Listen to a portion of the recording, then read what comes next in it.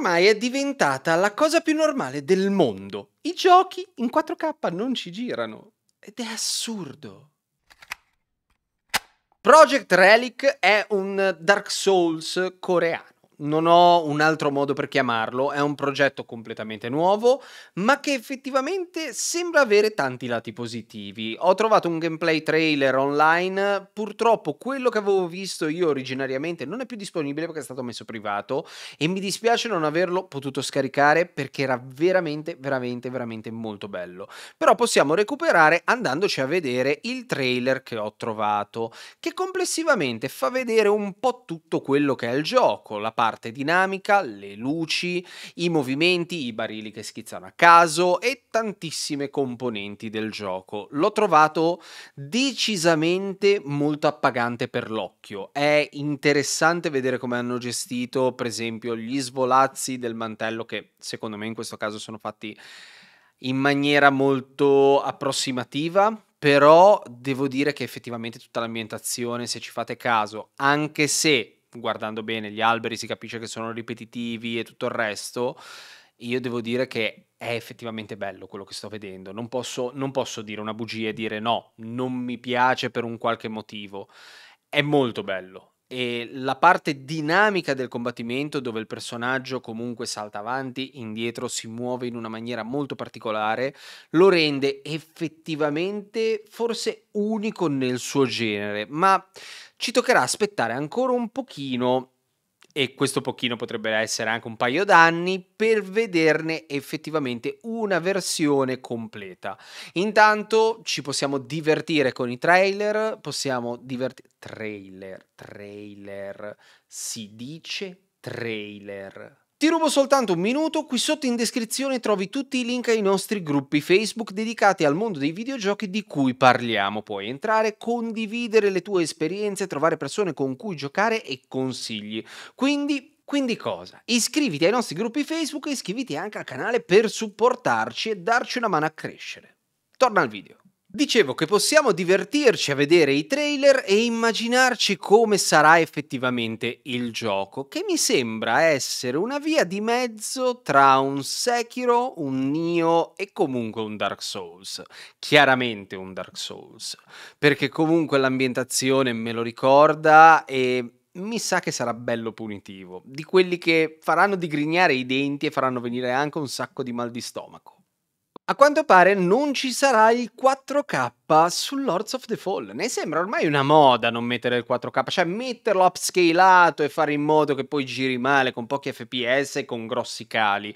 Questa cosa mi sta incominciando un pochino ad infastidire, devo essere sincero, e soprattutto mi infastidisce il fatto che quando uscirono tutte le nuove console next gen, sembrava come se il 4K fosse la base di tutto e si potesse solo crescere, invece qua siamo ancora al 1080p. E io non mi lamento, eh, perché comunque effettivamente, gente, o hai un televisore 4K o non ti serve a un tubo il 4K però eh, siamo nel 2023, ora quasi 24 e sono passati un tot di anni da quando ormai sono uscite le console next gen. Che aspettiamo a fare i giochi next gen? A quanto pare qui c'è ciccia per una nuova mod di Elden Ring, dove troveremo effettivamente i mech di Armored Core all'interno del gioco. E non che la cosa mi faccia impazzire, perché effettivamente non ne vedo minimamente il senso, ma mi fa un sacco ridere.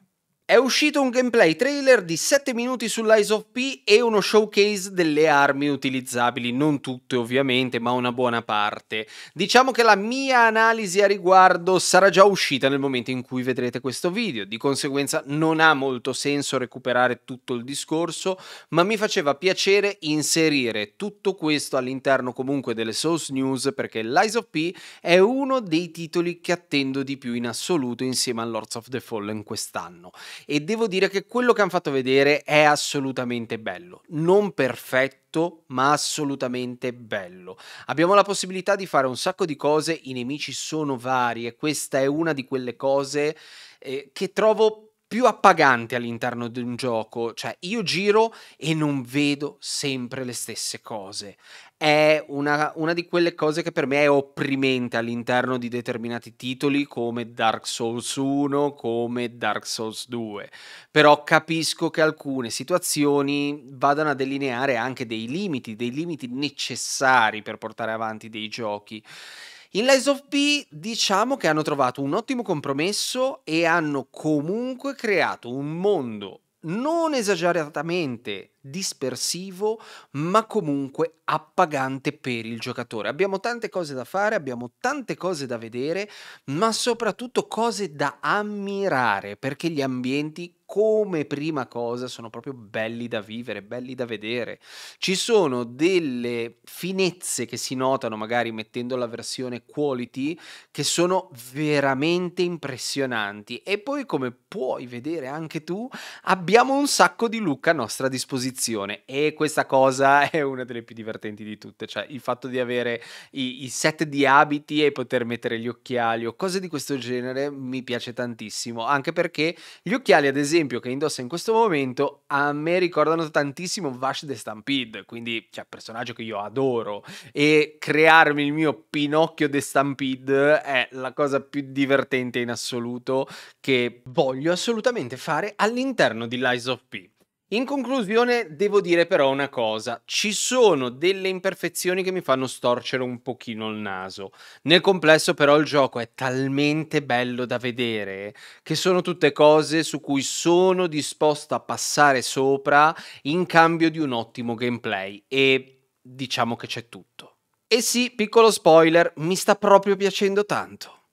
A quanto pare Baldur's Gate 3 ha battuto Elden Ring sui voti Metacritic. La cosa allucinante che io non riuscirò mai a capire è che con tutti i difetti con cui è arrivato inizialmente Elden Ring e sulla base di come è stato trattato Cyberpunk ai tempi, diciamo che i voti alti di Metacritic non sempre li capisco e anche in questo caso un Baldur's Gate che batte Elden Ring non dovrebbe tecnicamente fare notizia, cioè è normale che un titolo simile abbia dei voti alti, perché a differenza di Elden Ring, che comunque è un ottimo titolo, è gigantesco e tutto quello che vogliamo, ma è soltanto una piccola parentesi rispetto a un Baldur's Gate come misure, come storia, come complessità.